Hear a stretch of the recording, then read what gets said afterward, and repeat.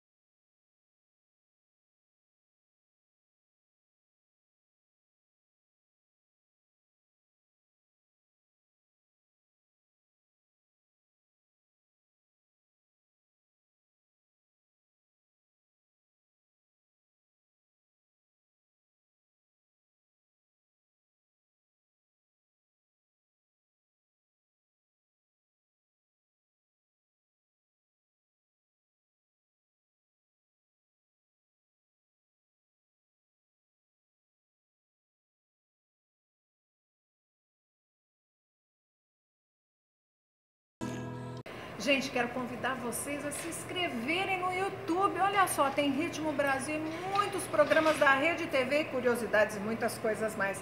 E não esquece de apertar aí no sininho, tá bom? Porque daí vocês recebem as notificações. Convidadíssimos, fiquem com a gente.